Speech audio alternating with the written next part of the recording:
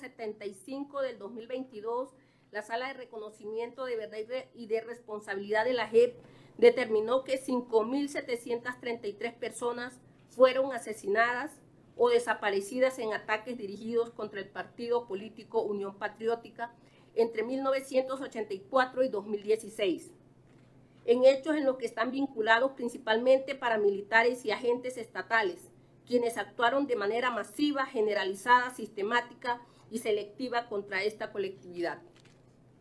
De ese total, de 5.195 eran militantes de la Unión Patriótica y 538 víctimas que no eran miembros de la Unión Patriótica fueron asesinadas o desaparecidas en hechos de violencia dirigidos en contra de este partido político.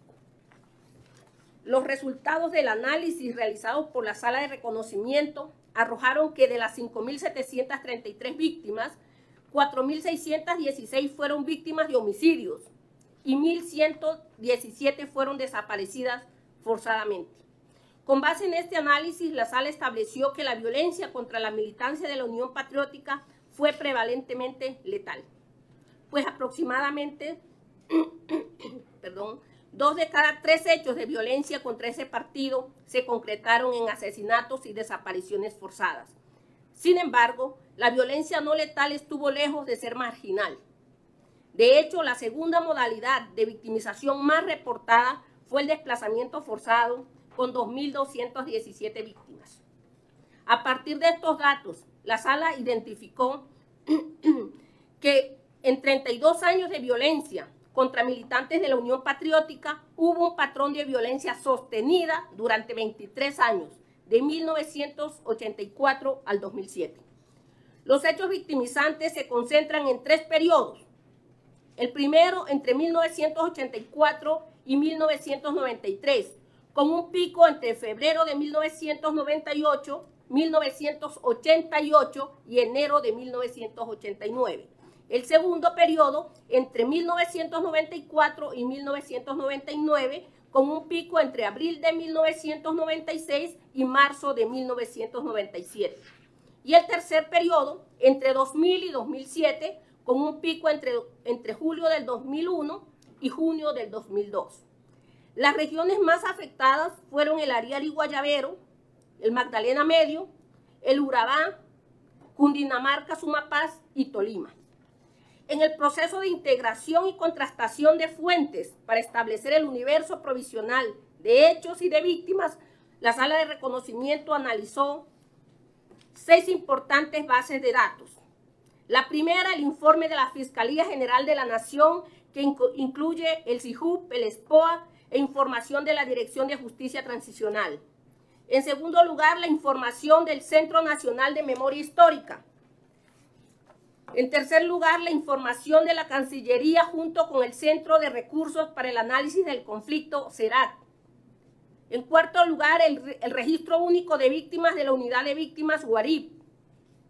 El listado que la Sala de Reconocimiento de la JEP construyó con los datos de víctimas de la Unión Patriótica que viven en el exilio y que participaron en espacio de escucha realizados en conjunto con la Comisión de la Verdad y la información disponible en las acreditaciones de víctimas y la información sistematizada de los expedientes inspeccionados en la fase de instrucción.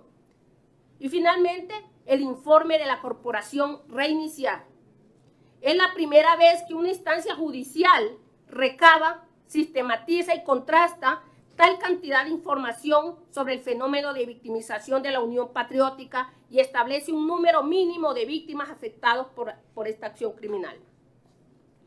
Con base en el universo provisional de hechos y de víctimas establecidos a partir de la integración y depuración de estas bases de datos, a través del auto 075 de, de la sala, la sala de reconocimiento adoptó de manera pública la priorización dentro del caso 06.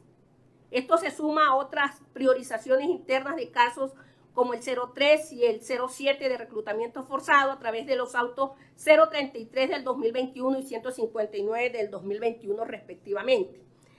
En función de la concentración de los crímenes en periodos temporales y territorios críticos y del potencial ilustrativo de estos hitos espaciotemporales respecto del patrón de macrocriminalidad, la sala de reconocimiento decidió concentrar la investigación en las siguientes zonas y periodos. En primer lugar, Magdalena Medio y Nordeste Antioqueño, entre 1985 y 1993. Son investigados algunos miembros de la Brigada 14 del Ejército, el Batallón de Infantería número 3, Batalla de Bárbula, y el Batallón de Infantería número 42, Batallón de Bomboná. El segundo, la segunda zona crítica, Arial y Guayabero y Piedemonte Llanero entre 1985 y 1993 y entre 1999 y 2006.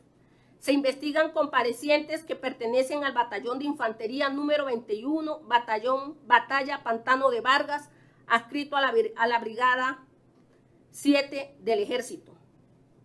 En tercer lugar, la zona de Cundinamarca y Sumapaz, entre 1999 y 2001. Se investigan a miembros del Departamento de Policía de Cundinamarca y del Batallón de Artillería número 13, General Fernando Landazábal Reyes, de la Brigada 13 del Ejército. En cuarto lugar, el municipio de Apartadó, en Urabá, entre abril y diciembre de 1996. Se investigan a comparecientes de la Brigada 17 del Ejército, el Batallón de Infantería número 47, Francisco de Paula Vélez, y el Batallón de Contraguerrilla número 35.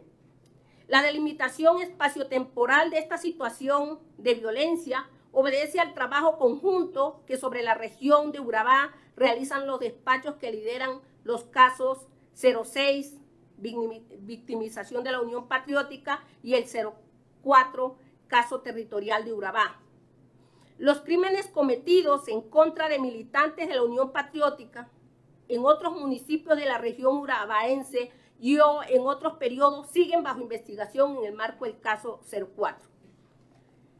La quinta zona, Tolima, entre el periodo del, del 2003 y el 2006. Son investigados algunos exintegrantes de la Sexta Brigada del Ejército, el Batallón de Infantería número 16 Patriotas, el Batallón de Infantería número 17, General Domingo Caicedo, el Batallón de Infantería número 18, Coronel Jaime Rock, el Batallón de Contraguerrilla número 6, Pijaos, y ex miembros del Departamento de Policía del Tolima.